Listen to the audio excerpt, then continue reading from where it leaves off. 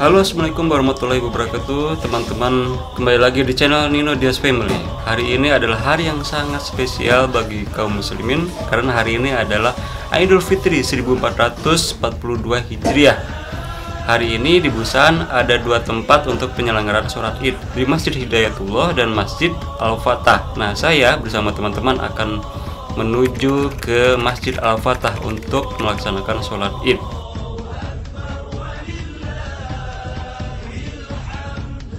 Tetapi tunggu dulu, ada protokol pelaksanaan sholat id. Satu, menjaga jarak fisik. Dua, memakai masker. Tiga, sudah berwudu. Empat, membawa sejadah. Lima, tidak membawa transportasi pribadi. Enam, tidak membawa anak-anak dan orang tua. Tujuh, tidak berkerumun. ナ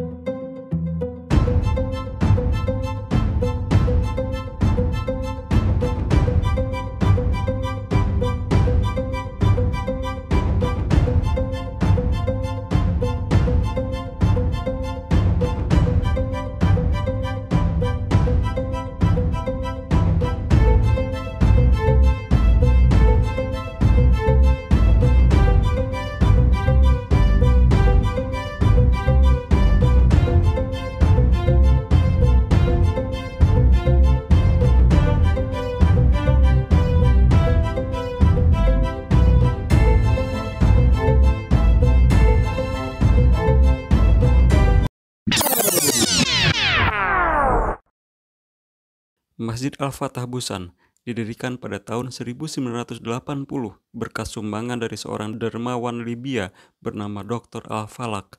Kini Masjid Al-Fatah telah berkembang menjadi lembaga Islam terbesar di bagian Tenggara Korea. Masjid ini menjadi tempat beribadah bagi semua muslim, khususnya yang berada di Busan, Daegu, Ulsan, Gyeongsangnam, dan Gyeongsangbuk. Allah.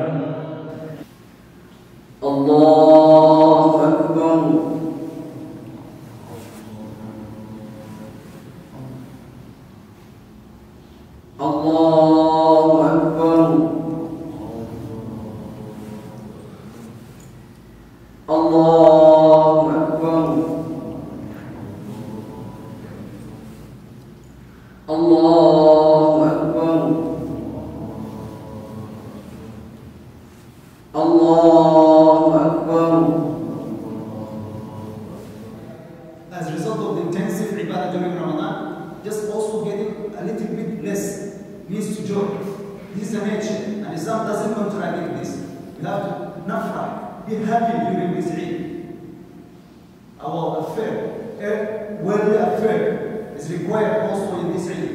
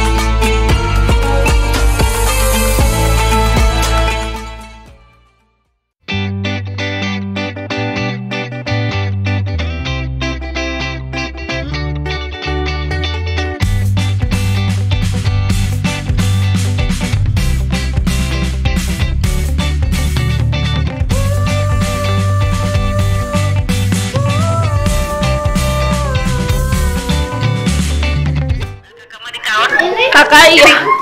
Kamajana saya nih terus cekap. Halo, halo. Kesian deh. Kesian deh nggak ada yang cukup. iya, nggak ada yang cukup.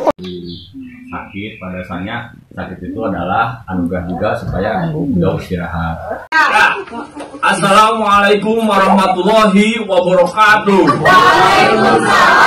Kami keluarga besar Bapak Haji Abdullah mengucapkan Selamat Hari Raya Idul Fitri. Mohon maaf.